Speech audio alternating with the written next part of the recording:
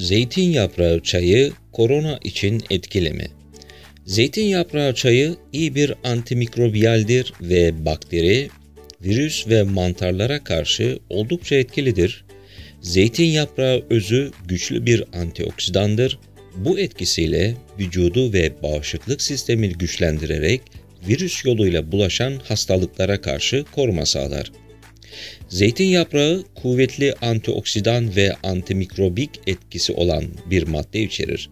Birçok bakteri, virüs ve mantar türü üzerine etkisi olan zeytin yaprağının aynı zamanda bağışıklık sistemini güçlendirici etkisi ile enfeksiyon hastalıkları tedavisinde başarılı bir şekilde kullanılmaktadır. Zeytin yaprağı ekstresi ve çayı kullanımının yan etkileri konusunda kaynak sayısı çok azdır. Bu nedenle gebelik ve emzirme dönemindeki bayanların kullanması tavsiye edilmez. Safra taşınız varsa doktorunuza danışmadan kullanmayınız. Herkese sağlıklı günler dileğiyle. Hoşçakalın. Bize destek olmak için beğenebilir, paylaşabilir ve yeni videolardan haberdar olmak için abone olabilirsiniz. Hoşçakalın.